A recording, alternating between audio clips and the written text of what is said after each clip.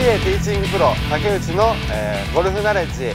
たくさんの方にダウンロードしていただきありがとうございました、ありがとうございました。えーまだダウンロードされてない方は、えー下の URL からダウンロードできますのでぜひダウンロードしてください、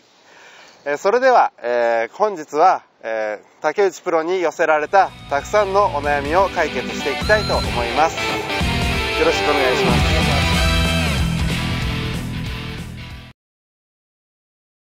はい、えー皆さんこんにちは、えーたくさんのご質問ありがとうございます、えー今回は N さんから、えご質問いただきました、えいつも動画レッスンを拝見しております、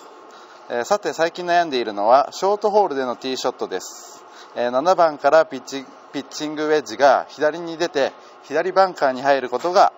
たびたびあります、えボール位置は、え左かかとから1つ分右に寄せたところです。えーこの、え左に引っかかるショットをティーショットを何とかしてほしいということで、え竹内プロに質問をいただきました。それでは竹内プロよろしくお願いします。はいそれではお悩みを解決していきたいと思います。ティーショットで左に引っかかるということですけどもまずティーアップをすると確かに引っかかりやすい形っていうのは作ってしまいます。ティーが高いほど左に行きやすくティーが低いほど右に行きやすい。というように少し覚えておいてください。ラウンドしていてショートホールで引っかかるなと思った方は少しティーアップを低くしてあのシショートホールをトライしてみてください。実際にショートホールで引っかかるといった場合に一つだけ気をつけるポイントをレッスンしていきたいと思います。通常このように、えー、とティーアップしてこのぐらいの高さでアドレスしてバックスイングしていきます。ティーアップしてあるから少し安心して手でボールを当てに行きます。こうなってくると多くの人は左の腰の回転を忘れてしまいます。こうなってくると左に引き引っかかりやすくなってきます。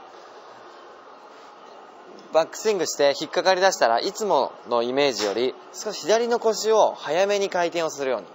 してください。左の回転を。止まらないように少しお腹を向こう側に向けてくるようなイメージでダウンスイングをしてください。これだけで引っかかりというのは少し抑えられます。それではそのイメージでボールを打ってみてください。